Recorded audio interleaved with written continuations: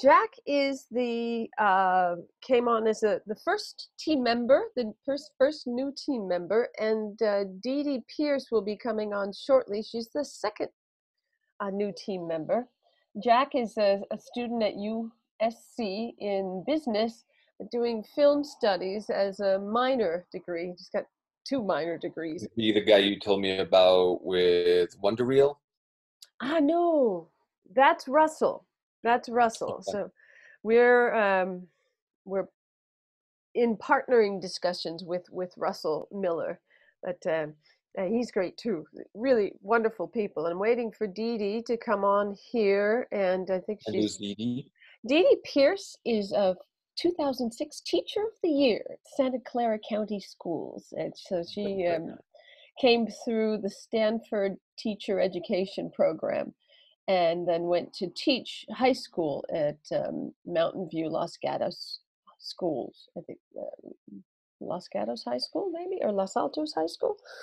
Oh, something like that nearby in, in Silicon Valley. So she's aware of all things going on down there, and uh, but has moved to Ohio and started a high school school uh, film festival there.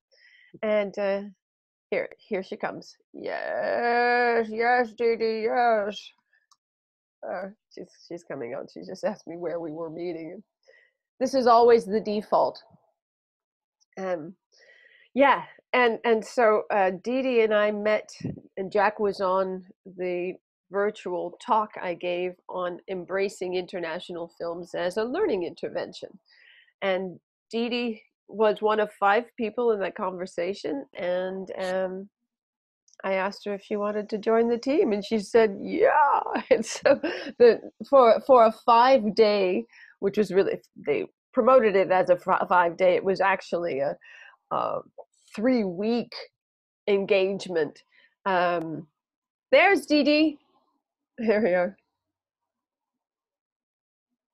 Former high school teacher. Could you see her coming down the hall looking badass like that? there we go.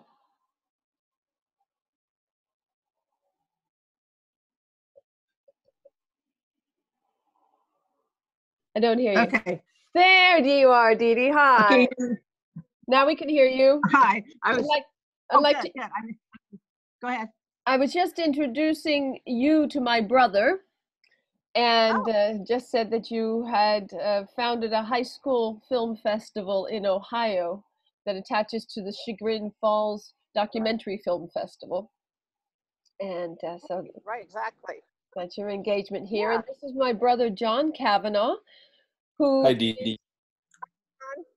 he's a um, middle school teacher in Portland, Oregon. Started off in social studies, like you, Dee Dee, and is currently a health teacher. So that's, um, I think that that gives you some interesting things to talk about from two sp- perspectives, Johnny. That's we'd like to you to uh, respond as both a health teacher and as a social studies teacher. So there you go. Language arts teacher, and I Oh, you've done language arts too. Okay. yeah Well, good. I Well, then, used to have a block Wow. that was language arts and social studies. Before that, I had a sixth grade practically self-contained classroom. So yeah, no, oh, middle school has evolved around me over the Nice. past quarter century. uh, in in a lot of Right. ways. Okay. you, well, forgive me for not catching are up. you in a public school? Yeah. Yep, your Portland Public Schools. Nice. Very nice. Uh, yeah. I um I was a public school teacher too. High. Uh, that's Just a little frozen there. well, it'll be interesting to hear what you think then. Absolutely. Well, John, just for a starting question, you know, uh, how have you used have you used film in your one of your classrooms successfully, and, and what did that look like? Uh, I've used a, a lot of, especially lately in health, used a lot of video. There's a lot of um, a very well made like super short um videos to get across health concepts um also to uh give kids a way especially like sixth seventh eighth graders a way to learn like delicate concepts like involved in sex ed where they're not like getting it from the white haired gent up front but they like get it from from a variety of voices and, and people maybe that they uh, see as more their contemporary or like the type of person that they would look up to and look to for information. Ah, so it sounds like these are not just animated, but live action as well. There's some that are animated. There's some that are live action. Um, at like at a point every quarter um, seventh graders and eighth graders get in help in sex ed a how to uh, use a condom and it can be done by a teacher and if i'm feeling like oh that's just gonna like send this class over the edge there's videos that like from planned parenthood and a planned parenthood spokesman um, just shows out step by step what um, how to how to use a condom safely and correctly. Yeah, and so, and and the kids respond very differently to the guest than they do to you, right? Or yeah, how is that? Uh, well, I mean, it depends on the group of kids, but yeah, it's different. It's I mean, they're used to watching stuff on a screen, but if like if if I was doing a demonstration, and to do that, we have a tool that is um, basically a human penis made out of wood and putting the condom on it. But yeah, we call it Woody. Yep. That's, uh, okay. And, uh, and yeah, for for some, I mean, you can just kind of sense when the kids they when you have like at least one aspect of your relationship is how can we can we make this teacher a little bit uncomfortable and stuff like that. In, in, you know, in a in a good humored way most of the time, but it if it's just up on the screen, there's no really way that they can uh, like try to try to derail that or or like get laughter. Uh, they can still try to get laughter from their classmates, but uh, yeah. Uh, but uh-huh. but then then classes, I also feel like there's it's awesome when there's like a certain level of trust between teacher and student to be able to do something like that live and and like and like I have this table, the sheet of instructions, like 17 steps. And uh, and I just have like the kids will read a step and I'll demonstrate it and then they move on to another step. And and so it it just depends on the mm. the level of maturity and trust in any given class group. Yeah. Okay. Okay. But um, other, but other than that, like videos, I'm trying to think. Are we uh, like for another for um um, alcohol, tobacco, and other drugs curriculum. There is often like these short six to eight minute videos that kind of show like teenagers in these um, situations where they might be feel uh-huh. pressured or feel curious about substance use or substance abuse and uh, so and especially in middle school where they most of them have not found themselves in a situation like that before. It's it's probably more of a, a high school thing, but for some in middle school, it's kind of just like seeing somebody else in an age group that they identify with having to respond to that situation and it's just like a starting point for conversation for role plays for stuff to um, practice refusal skills and decision making skills okay okay oh good and and that's been successful all right. Yeah. Yeah. And and definitely the video is and, and you know, so I end up watching these videos like four or five times a day when we're using them. And and they're they're kind of they're kind of silly and kind of dry, but the just the fact that it's it's something up on a screen and uh and kind of like a dramatic situation or something like that it catches their interest. And the and the sex ed ones are really like kind of fast paced and and and fun and and really short. They just yeah really hold the kids interest and they communicate like a pretty direct, simple message most of the time, and, Hmm. and it's good. So, could you imagine um, a film? Uh, well, how, how would you imagine using Screen 360 TV perhaps to address um, some of the, your needs for class? I'm thinking about language arts and social studies. Um, uh, I can imagine that we could have films uh, that would address sex ed situations uh, of um, Yeah, or just like adolescence Mhm. and definitely. um, pressure situations and um, like so many of the decisions we make are like affect uh, have a possible effect on our physical or emotional health or even social health our relationships so all of those um, so then on the flip side like having like a a discussion an online discussion or something like that that would be something that i would be kind of cautious of because i like having having a constructive conversation or discussion in um, a classroom is is kind of a tricky thing and sometimes it it, it like requires a certain protocol or a, enough for the kids to not feel self-conscious about things and if they were talking like with unknown people or unknown peers it, it might be daunting to them. It might not. I don't know. Hmm but Um, if it were introduced once and then twice yeah, on a on a regular basis, uh, would you see a value in creating a relationship, perhaps with a classroom in a foreign country? um i i'm it, i mean i'm putting myself out of my own classroom head and the demands on me as a health teacher with like all um, the different curricula and standards I have to address and having one quarter in which to do it and then having whole new groups of kids come in. So there's barely what I would say barely time for me to establish a good relationship with Uh-huh. the kids.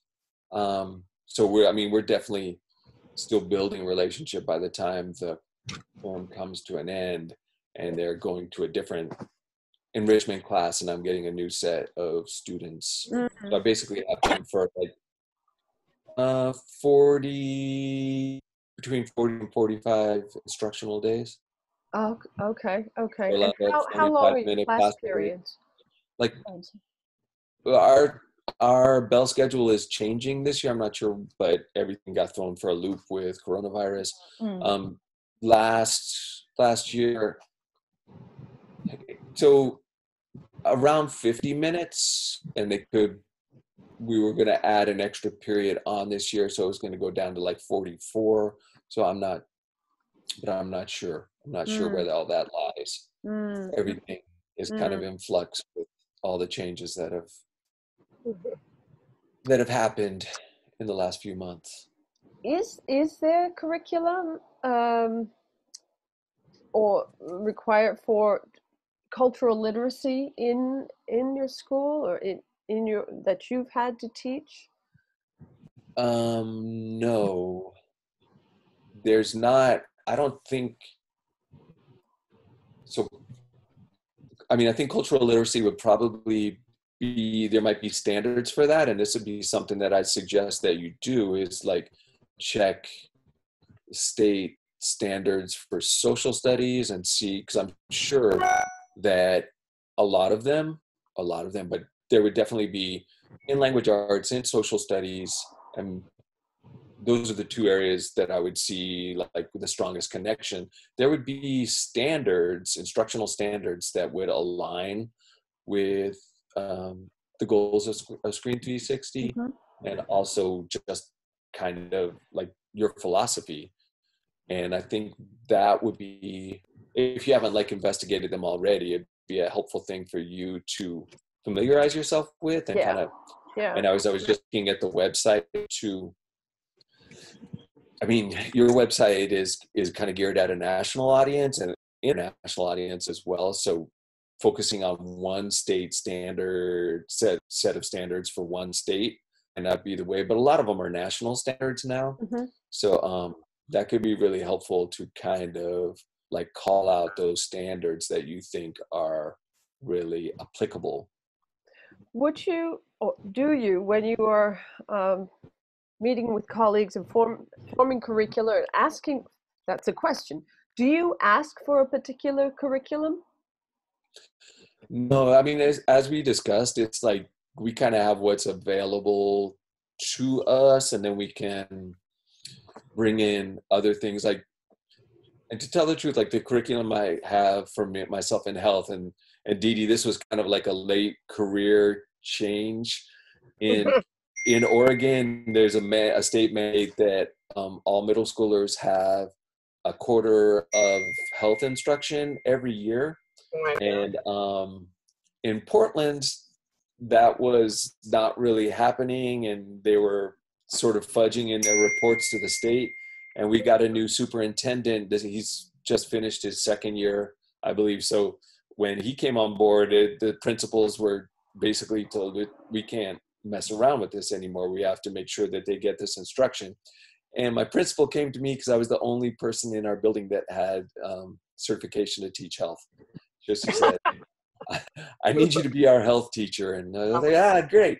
Oh, But I need you, so put you on the spot, right? yeah, and, and it wasn't even like, how would you feel about this? Or, or it explaining, she says, I have you, um, I have you on our schedule next year to, to, to be the health teacher. And I'm, I was just like a deer in the headlights. I was, I had no response right away. I was kind of, I was angry for a while, but then I, I really started, I, as soon as I got into it, I really enjoyed the health curriculum and, and I had kids finding, you know, questions about drug use and, and even nutrition and sex ed, and they're much more engaged in stuff than, than I had them when they, we were talking about the Bill of Rights or the, there you Uh-huh, go. I uh-huh. mean, definitely the Bill of Rights. Uh, I should take that back because that's really that was part of this the eighth grade social studies curriculum that they were really interested in. And, and Oh. like, but it was I don't know it, the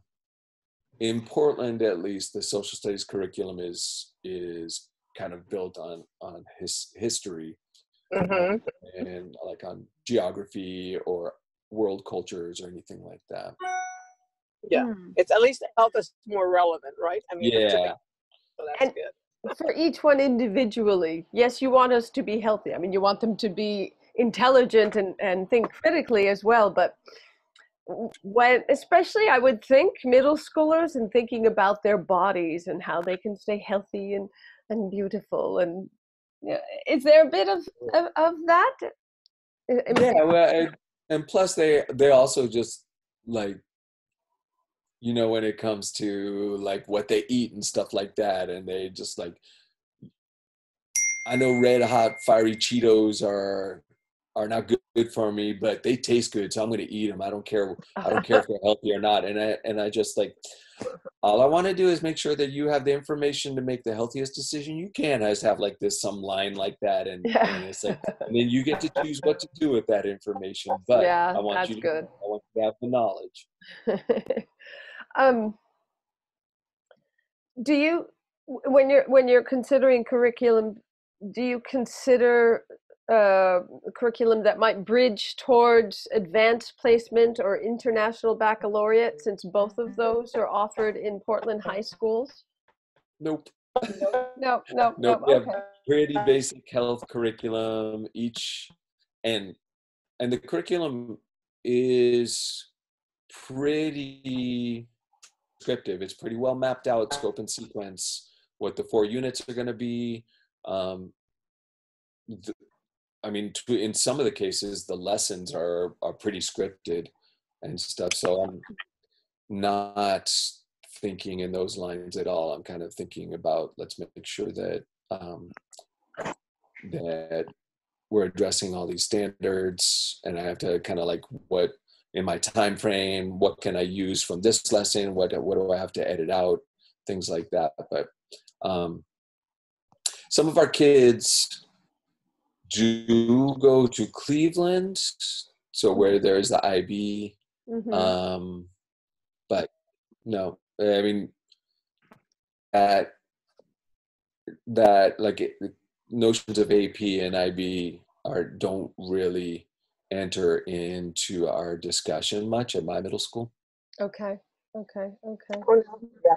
I wouldn't imagine, I really wouldn't imagine that you would talk about that. No, not yet. yeah Well, i mean in there eighth was grade, when they're are, are you not preparing them for high school in eighth grade?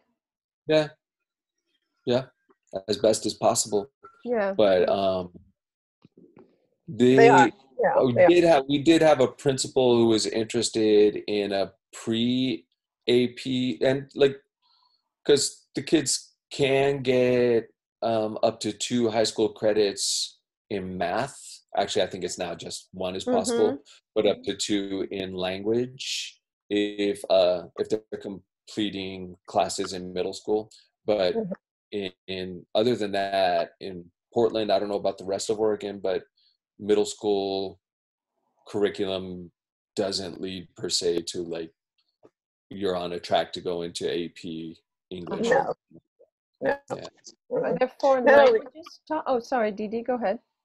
No, I was just going to say that no, you, you wouldn't you wouldn't be doing that. And not only that, you know, as an AP teacher, um, I know what that curriculum is. I know how hard it is. I know how it, what it's how demanding it is for the students. That I would never even want them to even touch it. You know, I mean, it's bad enough that they do take it freshman year. You know, it's like you don't need to take a college course when you're a freshman in high school. Seriously, uh, there's a lot of stress that goes with those courses. So no, I no, I would hope not. I mean, I think parents are already on kids, you know, in the honors track, etc. You know, that's I think there's a lot of stress centered around all this stuff. You know, so I think middle school, like as far as like Screen 360 TV, I would think that if you could find the films and make the connections to some of those films in your social studies classes, in your English classes, even in your world language classes, uh, and maybe Yeah. we could find one for health. Uh, maybe we could. It, I think we could actually. We could Um, have relationship. Yeah, definitely. Relationship Mhm. stories.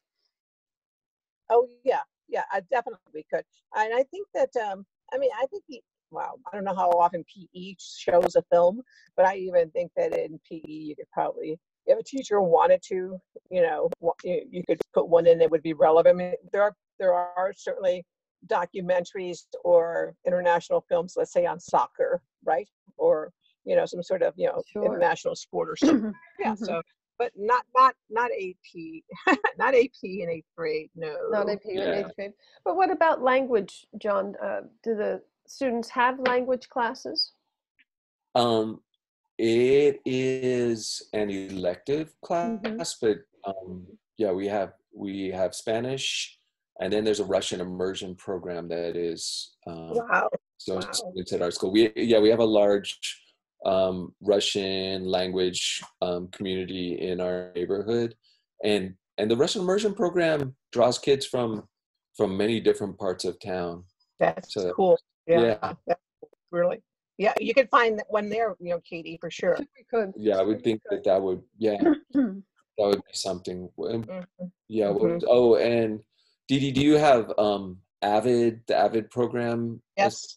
So we have a pretty that. strong Avid program at our school, and Mhm. that's that's one of the main ways that we get a lot of kids ready for high school, the demands of high school K, and it's it's kind of focused at students who are not necessarily like the the Mhm. top academically like who might be an AP or something like that but it's kids who um might come from families where um they might be the first to graduate high school or the first to go to college Mm. and but just like really Mhm. giving them some some core academic skills and academic habits that Mhm. could when they get to high school like really benefit them and keep Mhm. them from feeling like oh i've just run into a wall and Right.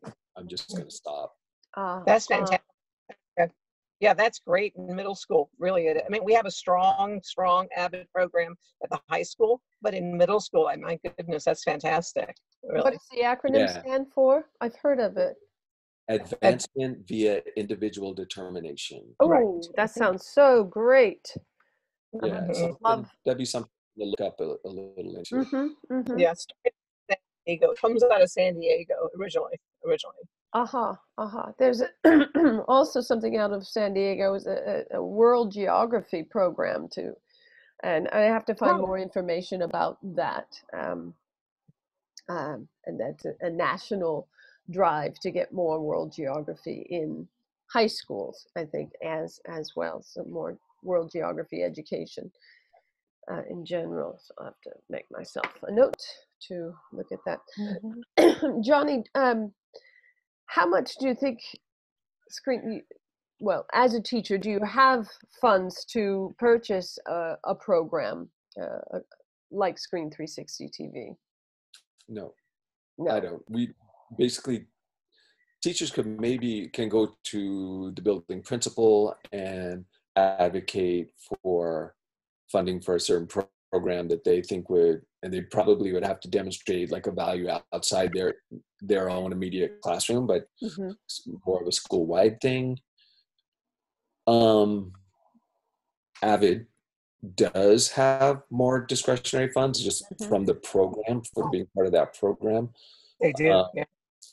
but so in like in our building before principal we had a principal who brought in a program that was called MindUP and it was mindfulness training for for students and so principals have can can purchase program or can can use funding to purchase Mhm. programs um, teachers individual teachers don't have that unless they like apply for a grant or something like that. Uh-huh. Uh-huh. Okay.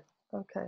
I think we get we get like seventy five bucks to purchase classroom supplies I for the think I yeah, I think I heard that from Chrissy too. Our our youngest sister uh, also teaches in public school and she gets about 75 bucks. Yeah. Mhm. Um is Mhm. there a conference that you and your teacher colleagues attend annually where Screen 360 TV could present or how how else would you recommend as a way to uh, show your colleagues what Screen 360 TV can do? Um, no on conference. I Mm. mean, hmm uh, no, there's no like annual conference that we go to. We have um, professional development. Okay. we have staff meetings and professional development and stuff um, more like highly concentrated at the very beginning of the year and then like weekly staff meetings and pd time but Mhm. that's often focused on just like um, small plcs professional learning communities where we like focus like I'm not sure. I think this year we might our our groupings might be more by grade level, but in the past they've been by subject area. hmm Um, Mhm.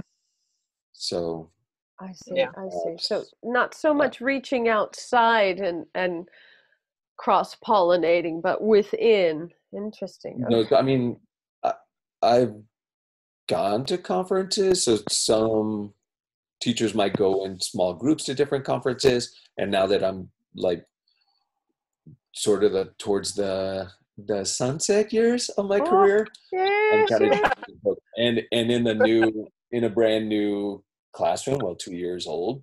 Um, I'm I've kind of more just like uh, I'm hunkering down and and learning what I can to to best um, impact my students. But yeah, I haven't. I was I was more involved in in other things and conferences and professional groups and stuff earlier in my career. Right, right. You Mhm. did National Yeah. Geographic. Dee Dee, did you Yeah. ever do any of the National Geographic?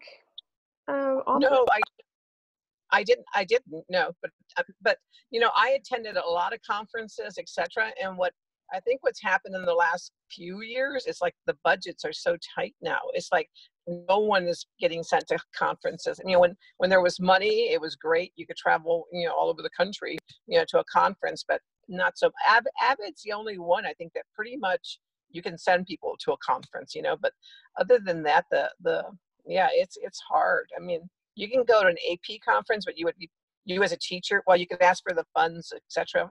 You know, if there's money, you know, they could send you. But um, no, it, it's unfortunate, and I think after COVID, now it's even going to be worse. You know, with uh, with funding for things like that. So it's mm. it's it's not good yeah it's sad but it sounds like john when you do the grade level thing that's going to be more interdisciplinary which will be nice. Yeah and that's we're uh so my group that was the enrichment teachers for the past two years so we're not sure where we're going to fit in. I think we're we're staying as kind of uh, you know the the hodgepodge um group because we're not we're all three grade levels. Mm-hmm. and, and uh, so our little group is not going to change, but all the other teachers in the core areas will be mm-hmm. will be going to grade level groups. Yeah, uh, I think that you'll. I think your group, your I think your group's voice is really valuable because I think you see kids differently. Okay, so you really actually get to know kids a little differently, and so I think your perspective to even the grade level math teachers or whoever is like, you know, I think it's valuable because you could kind of like well, what about this? Or I see this, or they're thinking about this. Did you know this is going on at home? You know, whatever it is, you know. But you know, I think that's it's that would be huge. I would say to have your voice. Yeah, and and we, um, uh, oh, you know, over the last couple of decades, as as school budgets and and state education funding has kind of dried up a little bit. We're we're a fairly small staff, and, and we do we know each other other pretty well. So mm-hmm. yeah, I know that I can go talk to like my sixth grade teacher group and and hopefully we will still be doing plenty of that. Mm-hmm. Because, yeah, I mm-hmm. think uh, those of us who see all the kids right. at all three grade levels, we will we'll need to check in with those guys. Right, right. yeah. Could we give you um, a list of the programs that we're showing so far and for you to consider perhaps a, a pilot maybe even one one screening at the beginning of school. We're looking we're looking at september 17th as a, a possible day where we're aiming seventh grade but also high school. So uh, it could be an event where it's seventh through 12th grade. It's unlikely that we would get the 12th grade. So we would focus uh, the film on, say, 14 and up. And that's generally how the Berlin Film Festival looks at their, their teenage film. It's 14 and up. So that's almost this, the seventh graders, this, your sixth, seventh, and eighth graders are, are looking forward and it would act like a bridge. 14, 14 is like eighth grade. 14, uh, okay. Yeah. And only some eighth graders, but if that were, and I we can that's definitely something we can like talk about mm-hmm. and mm-hmm. and think about, but we don't even know what we're going to be doing in the fall yet. Okay, whether we'll be in a building, whether we'll be at home, like these individual nodes trying to work together and draw kids in and keep them engaged. Um, and yeah. also, we the, our district has a strict policy that any like films have to be have to be accompanied by a parent permission. Okay. So that's okay. another thing to yeah. consider. Yeah, would yeah, Easier would now. Go ahead, Dee Dee. Would it have? I'm asking. Would it have to be vetted the film? Because I'm, you know, I'm thinking about that one film, you know, that we like so much. The is it not Federico? Is it Federico? Oh, El de Fabrizio, an Argentine film. Oh, and it would be perfect for your sex ed class. It really yes. would be. It's but I'm so wondering nice. about the age. It's it's perfect. It really is. It's really. I think it's. I think it's pretty harmless. But you are talking about. I mean, it is about you know kids thinking about having sex for the first time. It, but it, it never happens. It never happens. Okay, yeah. but just discussion about it and and you know kind of like them preparing for it which is it's really funny but it's touching and uh, not touching it's literally touching him it's really no. It is, and but well, it engages parents, the parents' conversation around it, and the Yeah. parents also reflecting on their first times that there really was no one giving them insight to this, and that was the response we got from a parent group that that watched it, two high school parents, and uh, they said, "Wow, it might be really good actually to have something like this that did engage a conversation." And, and they did they did say those parents those interviews did say you know eighth grade they did say eighth grade they did say middle school they did um, and also i think this not the saving grace but one thing that i thought was really important at the end is that the two kids look at each other the ones who were going to have sex for the first time and they said well we learned the lesson that we should wait you know so that was like so that's why i think it's like good. And that's a yeah, perfect and one, that's- yeah. That's the big. That's the big overall thrust, probably, of our middle school sex ed is like, yes, you. Almost everybody at some point in their life is going to decide to be sexually active, but at your age, the best the best thing is to wait. But right yeah when you when you do choose to be sexually active, here's all kinds of information that will right help you, right help you safe, help you keep your partner safe, and You're Yeah. empowering them to be responsible. That's Yeah. that's great. I think El Inicio um, engages the converse, conversation, and it also I think it's, great for parents. I mean, now that we're going Right. to be online, the parents can watch too, and it's a wonderful opportunity right to, right to remove the taboo, to bring it into a natural place, a natural conversation, and that's so huge. And and this is what we're looking at now as the benefit of of COVID is that it's that families together. I know some kids are in difficult family situations, um, but uh, uh, sharing a film like this, I think, can really engage trust, so that independent learning is even stronger.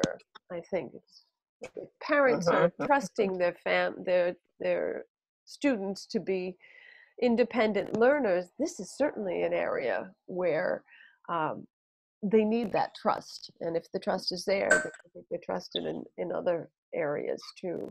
And um, yeah, I think you Mhm. saw the the parents' response in the Q and A's I sent over. yeah it's a nice film Yeah, it was, of Mhm. course you could see it. It's a nice- background. yeah, I think I remember you talking about that one before, Kate. Uh-huh.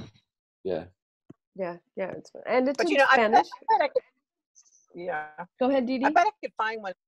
I was gonna say, I bet I could find a film. I, I bet I could find one. Seriously, you know, when I'm looking at all the films, I bet I can find one that would work for for John's class. Yeah, and and the whole thing. And yes, and I think uh, John, what we're looking at and we're really being cognizant about is like we're keeping everything to no more, let's say, than 15 minutes of a film. So it's not anything short. long, you know. So this, yeah, right, And, something uh, short, not not if um if we are doing online learning if we're returning to school in kind of the same way that we finished this past year um we were doing the instruction basically the lessons were asynchronous so that the kids could access them when mhm. they when their schedules permitted when things at home because they might have been like working around the schedule of a sibling to use the chromebook that they had at home for and stuff like that. So having like one big event while we we just like if you can if if you can do this kids this would be this would be the time but it would be better to have like the film available that like on a given day where they could access it at um, Yeah. whatever time works for them or something Well, this particular film, El Inicio de Fabrizio, is available. I've made a playlist, and it's available on YouTube. And and uh, I have hopefully uh, marked enough things with Screen 360 TV so that it's recognized that this is the repository for Screen 360 TV as well. It's just was too difficult to move um, all of the content on the Katie Kavanaugh YouTube channel to a single, um, an independent Screen 360 TV um, YouTube channel, and and that we will use, we will build as we grow.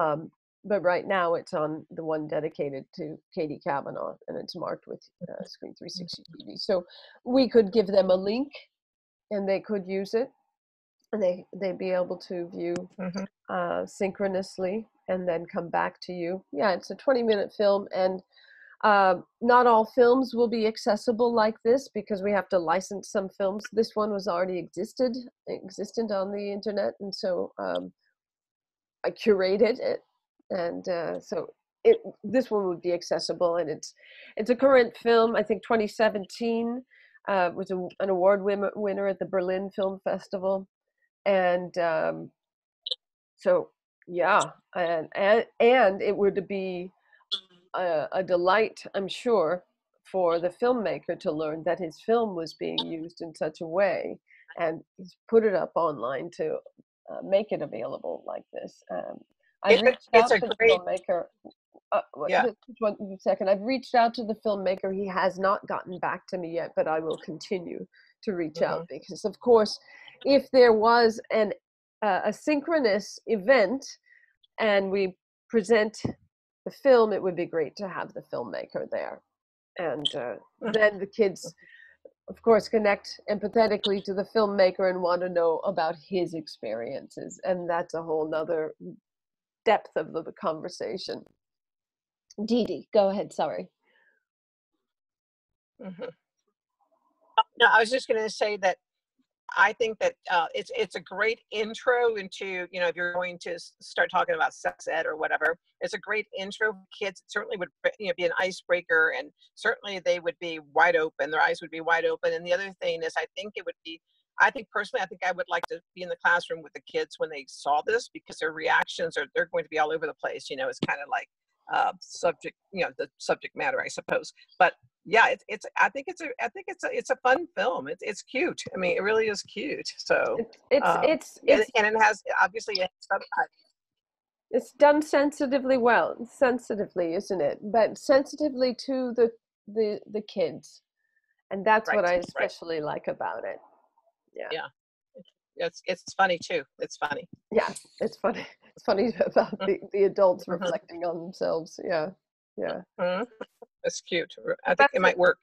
yeah that and It might- that's a really good point john about the asynchronous and and um, yeah that's great so how i mean eh, could you recommend us to the person who's making this that the decisions and so they could they could even um, call upon us as a resource because we've been testing both internationally and, and nationally for you know, three months and before really for for years now you know i've been testing this in, in different uh, use cases but specifically for this one.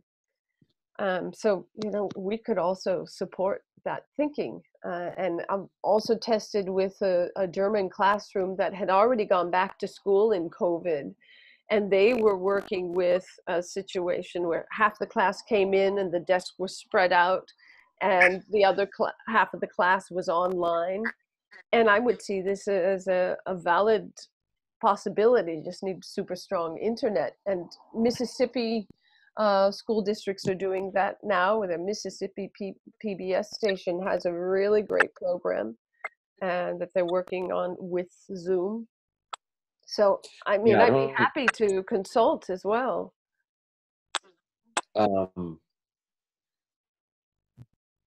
so, uh, like, with whom? I don't. I I don't know because I.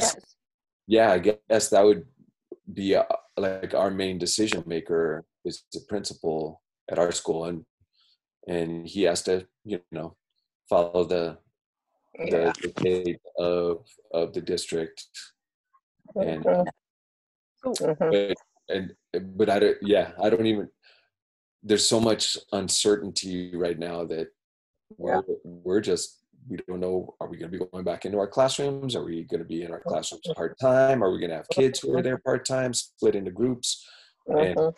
yeah we- well they, i know that they're looking at a lot of scenarios Mhm. but um, and this is what I'm trained in too is is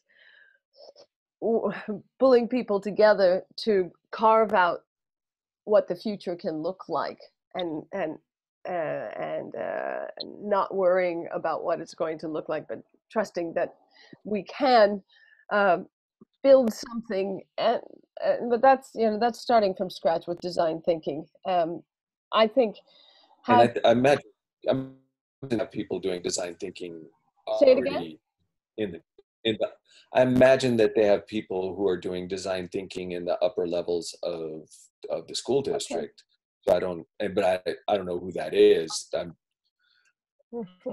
it's I'm just like one of the people that kind of like okay, I'm waiting for you guys to tell me what's going on and how yeah. I'm how I'm well, going to be pulling different lessons and and materials and things together that that I use and that I to make up my if, lessons. Mm-hmm. If you felt it valuable, though, um, we could have conversations that that bring out other insights from our experience, and um, we just came through uh, an intensive. Um, at, at Stanford, working with people who are in the military, working on this issue too, or all working on uh, COVID recovery. So, you know, in a 30 minute conversation, we might be able to offer something and, you know, not detract anything.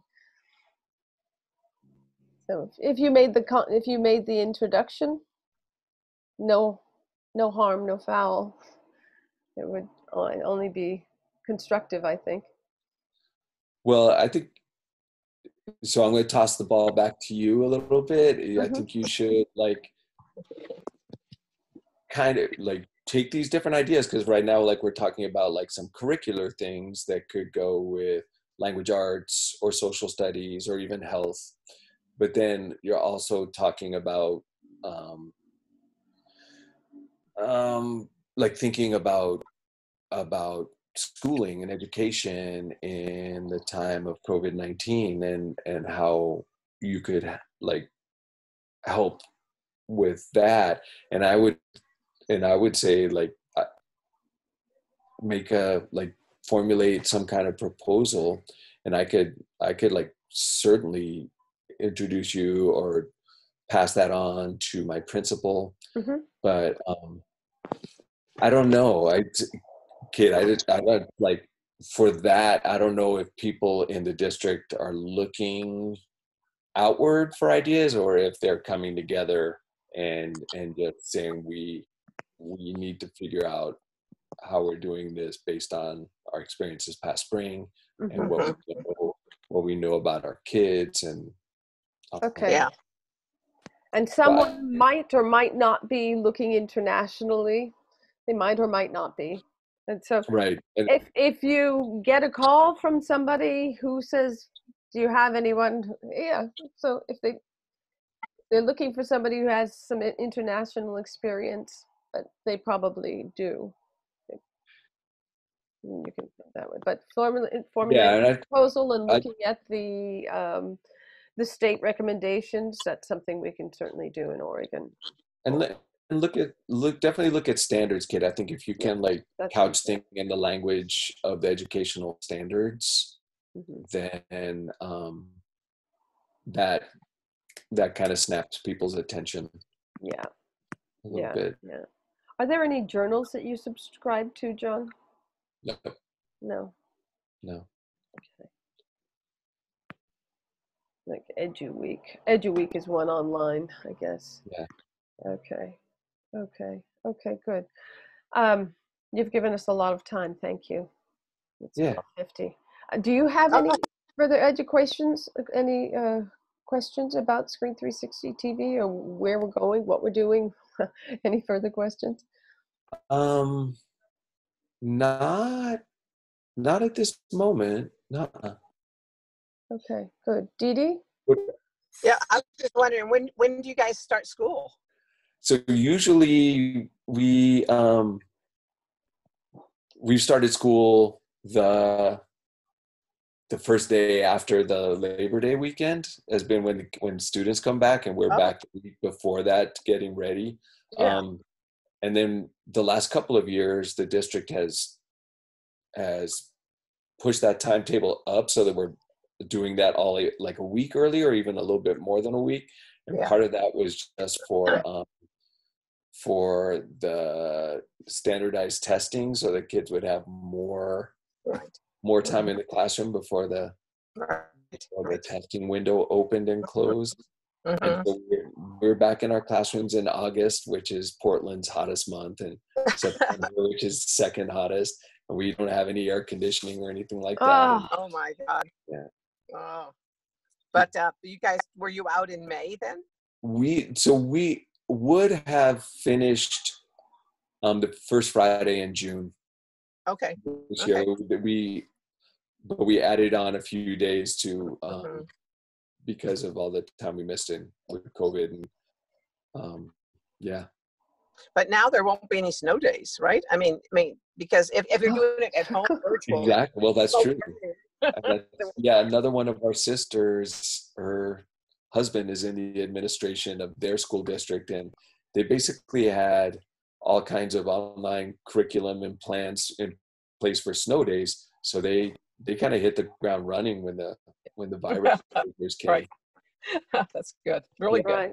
Yeah. It was Yeah. interesting. We we interviewed Scott, or I interviewed Scott, and he said that the teachers direct the content in the class, and and he said as the curriculum director, he waits for the teachers to come to him and ask him, and he basically supports.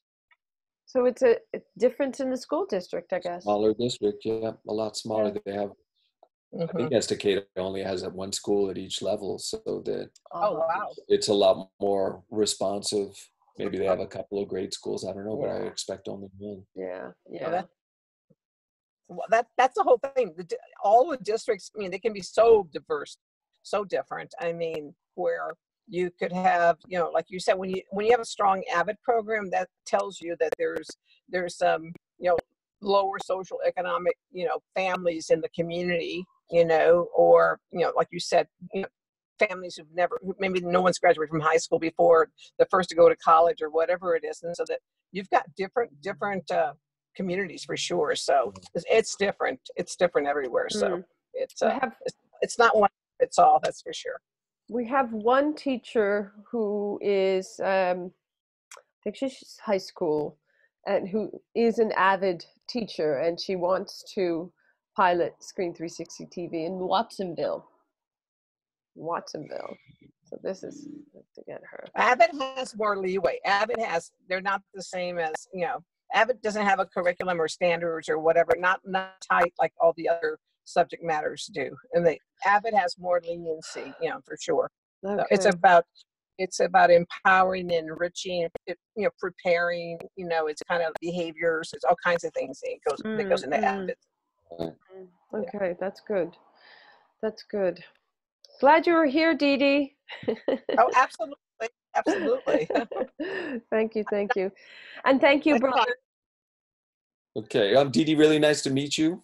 Nice to meet you too. Nice Good luck talking this with you. year. Thank you. You too. Thank you.